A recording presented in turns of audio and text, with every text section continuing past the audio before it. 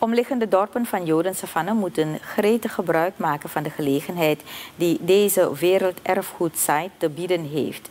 Jodensavanne, een voormalige Joodse vestiging in het district Para, is namelijk in september vorig jaar op de werelderfgoedlijst geplaatst.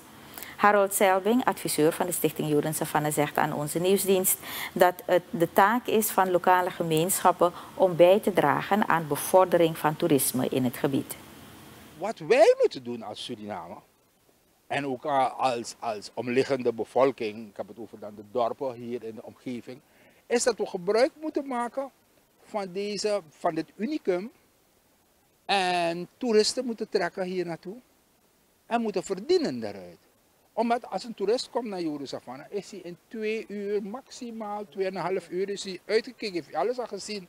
Maar daarna moet je kunnen zwemmen, moet je kunnen verpozen, je moet kunnen chillen. Huh? En dat moet je doen dan in, in die dorpen of de plantages in de omgeving van Jodensavannah. Dus Jodensavannah gaat, gaat werken aan een, als een soort katalysator. Uh, gaat aantrekken, mensen aantrekken. Als die mensen er eenmaal zijn, kunnen de mensen naar verschillende andere recreatieve activiteiten in de omgeving. Volgens Selbing moet Jodensavanne niet alleen gezien worden als een plek die herinnert aan de Joodse geschiedenis. Jodensavanne is veel meer dan dat en als werelderfgoedsite is het een paradox.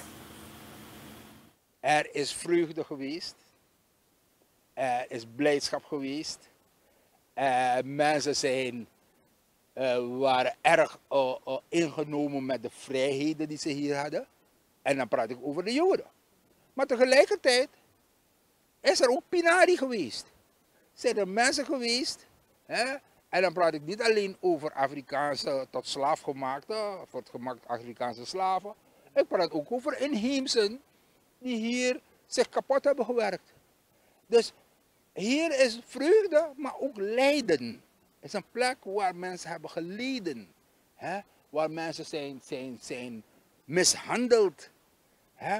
Waar mensen zijn, heel zwaar zijn mishandeld.